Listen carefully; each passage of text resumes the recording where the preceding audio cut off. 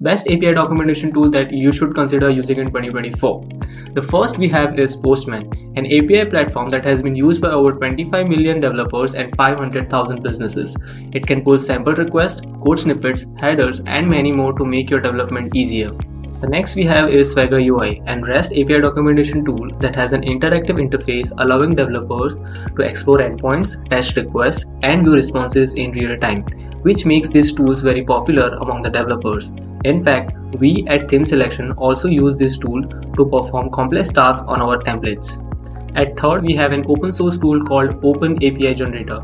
It has an easy to use solution with over 50 plus client generators to let you generate code with any servers. It supports documentation formats in HTML and CWiki to let you generate static documentation. If you're looking for more such documentation tool, then check out the blog link given in the description. If you found this video helpful, give a thumbs up and subscribe for more such useful videos.